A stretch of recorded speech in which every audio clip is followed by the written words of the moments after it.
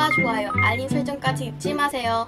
나의 중립 떡기 소주차 만행 화살을 보며 조착에게 속았음을 감지한 백일비는 그를 뒤쫓고 전삼칠은 도적들에게 자신의 신분을 얘기하며 신세한탄을 하는데 뒤에서 듣고 있는 조착과 그 뒤에서 듣고 있는 백일비 조착이 전삼칠을 구하러 들어가지만 무슨 이유에선지 무공을 사용하지 않는 조착은 그들에게 심하게 얻어맞습니다.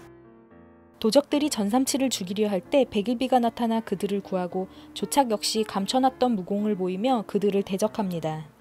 도적들은 도망을 가고 집에 돌아온 조착은 엄살을 부려 전삼칠을 집에 잡아놓습니다. 백일비는 조착에게 선전포고를 하고 조착의 멀쩡한 다리를 보고 전삼칠은 화가 나 다시 집을 나가 백일비의 집으로 갑니다.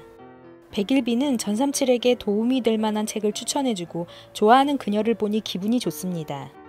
백일비가 신선 오빠인지 알아보기 위해 이것저것 물어보는 전삼칠, 분명한 답을 들을 수는 없습니다.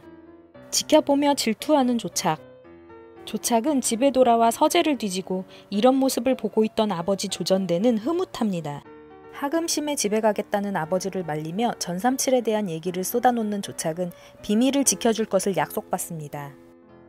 밖에서 이를 들은 하금심의 유모는 사실이 밝혀지자 그곳을 떠나려 하고 조착의 아버지 조전대는 유모를 잡습니다.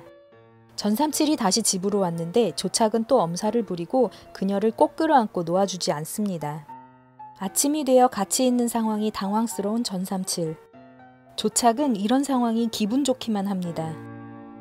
조착의 부름으로 백일비가 집으로 오고 백일비에게 다정한 척 연기하며 마음을 찢어놓습니다.